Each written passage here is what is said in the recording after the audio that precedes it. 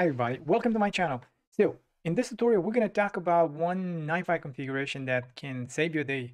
Um, basically, um, there might be cases where your NiFi server or your instance crashes uh, due to some bad configuration in a promoted uh, flow.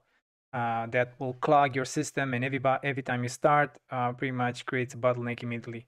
Now, by default, um, the NiFi processors or process groups or elements that we, we have in NiFi will be coming back online with the same state as they went back offline and as they went out offline.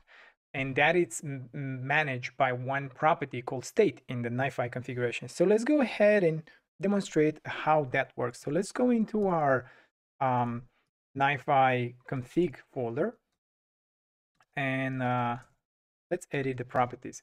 Once you get into the properties, look for um, this particular um, term. It's called resume state. This is the property that will pretty much enable um, NiFi to restart your instance or whenever the instance is starting to auto resume the processing. So in our situation, my server crashes all the time 10 seconds into it. So what I'll say, I'll say false. Save it and let's go ahead and start our uh, NiFi instance. So we're going to go to nifi.sh, start.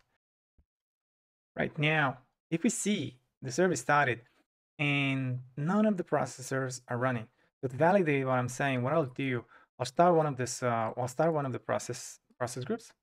This will this will run and you see has a state of one and he's going to queue some data here. Let's go now and do um, let's stop it. So where are we? We are in comp. Let's go to, as a matter of fact, I'll do it from here. So it's going to be NiFi.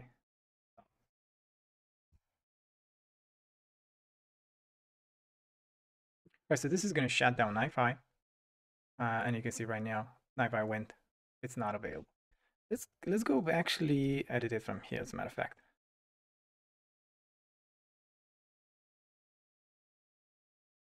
Okay, so Let's change this from false to true.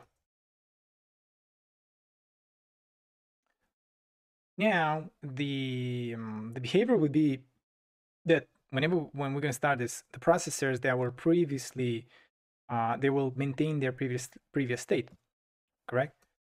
So we should have uh, that particular processor up and running. So this might take a bit of time. So let's refresh this page. All right, so there you go.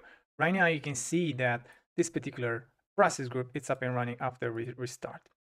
So um, that's how you would, let's say, save the day in case you promote a bad or a crooked flow file that pretty much shuts down your your instance, uh, NiFi instance all the time.